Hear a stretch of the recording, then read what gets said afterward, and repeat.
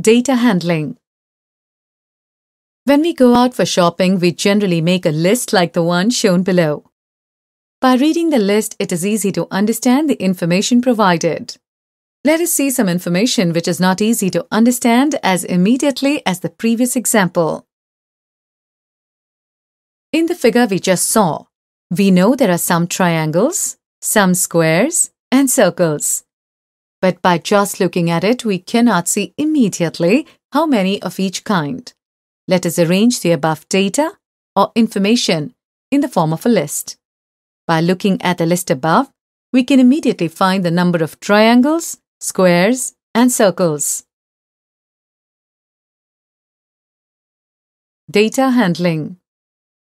So we have seen how sometimes data or information cannot give all details unless we arrange them in the form of a list or table. This arrangement of data in the form of list or table is called data handling. Let us make a data handling chart with the following information given. In a class of 20 students, the students were asked to name their favorite color. The following data was collected.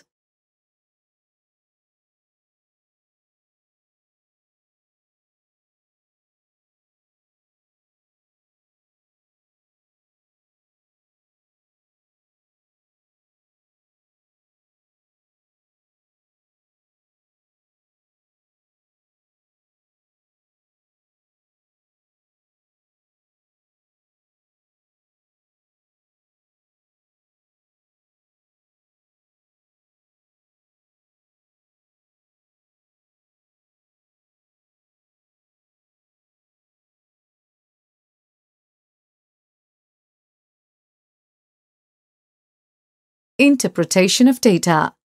From a given table or list of data, we can answer many questions.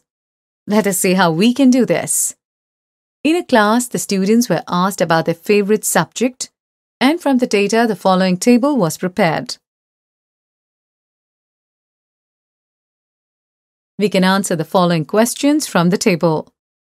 Question. Which is the most favorite subject? Answer. Science. Question. Which is the least favorite subject? Answer.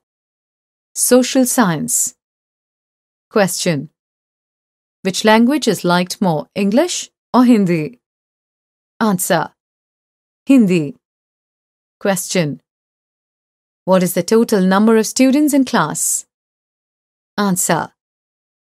5 plus 7 plus 8 plus 4 plus 6 equal to 30 students.